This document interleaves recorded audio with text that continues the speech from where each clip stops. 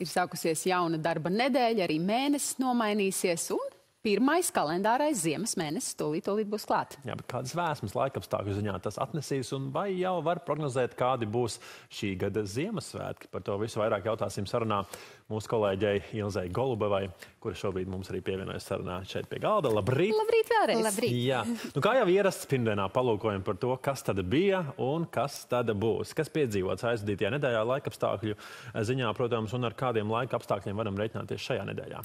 Nu, jāsaka, jau ka aizvadītajā laika, nedēļā laikapstākļi ir bijuši ļoti dažādi. Viņi arī redzēsiet karti. Piedzīvojām gan vētras spēka vēja brāzmas, kad ciklons atnesa stipru vēju, stiprus nokrišņus un Ventspilī vēja ātrums brāzmās sasniedza pat 30,8 metrus sekundē. Nokrišņu bija daudz, kur zemes upēs cēlās ūdens līmenis, protams, arī sniega un biezākā sniega saga arī tika novērota. Nedēļas otrajā pusē tās biezums gan austrumos, gan arī vietām valsts vidienē sasniedza 20 22 cm. Bija jūtama arī diezgan liela temperatūras kontrasti, jo, kad mūs sasniedz šis ciklons, viņš sev līdzi ienes arī siltāku gaisa masu, un līdz ar to gaisa temperatūra sasniedz pat plus 9 grādus. Bet šajā nedēļas izskaņā jau esam sagaidījuši pat 4 augstuma rekordus. Temperatūra pazeminājās līdz mīnus 14, mīnus 15 grādiem. Līdzīgi ir bijusi arī šajā naktī, un jāsaka, arī turpmākā nedēļa būs diezgan interesanta laikapstākļu ziņā, garlaicīgi nebūs. Jo, ja šodien laiks būs itin mierīgs, tad jau rīt mēs sajutīsim ietekmi no ciklona, kas šobrīd atnes dinamiskus laikapstākļus Melnās jūras reģionā, tātad turpat Melnajā jūrā viņa augstums sasniedz pat 9, met, 9 metrus, vēja ātrums brāzmās ir 30-40 metri sekundē, tāpat arī spēcīgi sniegu un puteņo, bet tik dinamiski laikapstākļi pie mums gan otrdien nebūs jūtami.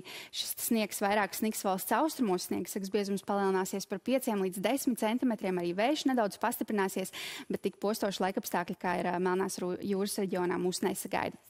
Bet uh, trešdien gan no dienvidiem uh, mūs sasniegs jauns ciklons. Ja nakts arī būs samērā mierīga, tad jau trešdien dienas laikā sāks ilgstoši snikt, un šie nokrišņi turpināsies arī naktī vēl uz ceturtdienu.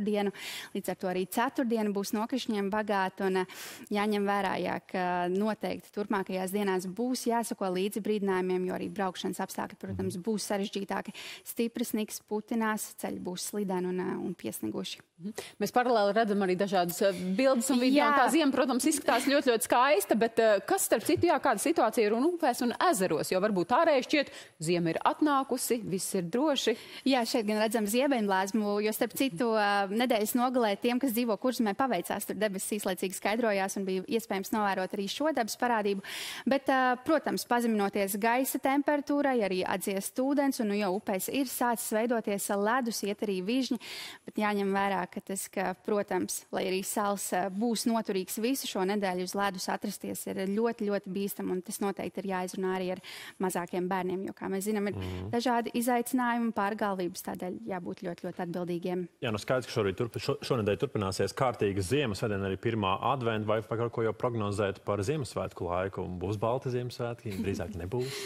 pirmā adventa noteikti būs balta. Es domāju, ka visā Latvijā, bet, protams, prognozēt, kādi būs Ziemassvētki pēc mēneša, tas ir ļoti, ļoti sarežģīti, jo atliek kādam ciklonam vai anticiklonam nedaudz mainīt savu trajektoriju un laikapstākļi var krietni, krietni pamainīties. Tādēļ es noteikti aicināšu ikvienu doties baudīt ziemas priekus tagad, jo arī jau uh, slēpošanas kalni ir uzsākuši vietām savu sezonu. Cilvēki arī dodas uz mežu un uh, slēpo paši savā nodabā. Un, uh, bija arī kāds kadrs no Rīgas, kur uh, bērni Grīziņkalnā bauda ziemas priekus. Tā kā es domāju, ka negaidām Ziemassvētkus līdz tiem vēl tālu, bet tiešām izbaudām šo ziemu un augstumu, kas mūs sagaida. Vai arī dinamiski dienās. sekojam līdzi prognozēm, ko jā. katru rītu jūs vēstāt pie mums? Jā, un droši vien katru pirmdienu mēs tāpat par tām prognozēm Protams, jautāsim, jo jā. mēs zinām, ka pienāks brīdis, kad kaut ko jau varēs Pēc prognozēt. Tam un jāņem, jā.